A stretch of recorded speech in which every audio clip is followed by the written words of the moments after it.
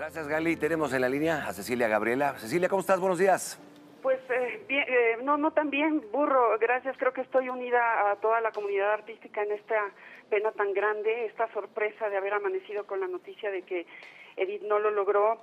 Eh, estoy muy, eh, eh, pues consternada porque las personas como ella que se aferran tanto a la vida con tanta alegría eh, no, la lo, no lo logran y, y se van y su ausencia es terriblemente de impacto para todo el mundo. Oye, dime una cosa, Cecilia. eh, eh, este, no sé, ¿tú, tú trabajaste con ella? ¿Hace cuánto tiempo la viste? en la obra de eras muy Mujeres. amiga, tengo entendido que eras muy amiga de ella, pero ¿cuándo fue la última vez que tú pudiste hablar con ella por teléfono o que estuviste con ella? Mira, todas, todo el grupo de Entre Mujeres estuvimos con ella en la última función, hicimos temporada en el Teatro 11 de Julio y, y créeme que realmente ¿Eso fue cuando?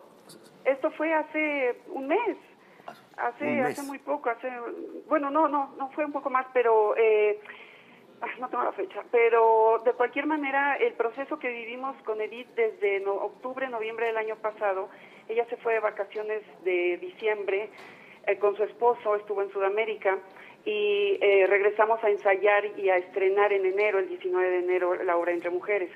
Nunca se mostró enferma, nunca la vimos mal, siempre con su imagen impecable eh, y, y la verdad es que es una gran sorpresa porque no, no, no, no había forma de saber que ella estuviera mal. Ella siempre ha sido discreta. Exactamente. Mira, fíjate una cosa, Cecilia, perdón que te interrumpa. Sí. Ella, ella, cuando estuvo aquí hace algún tiempo, decía que así quería que, que- que la viéramos, una persona fuerte, entusiasma, de, con mucha sonrisa en la cara. De verdad, te agradecemos mucha, mucho esta llamada, mi querida amiga, y, y estaremos al pendiente de qué es lo que sucede.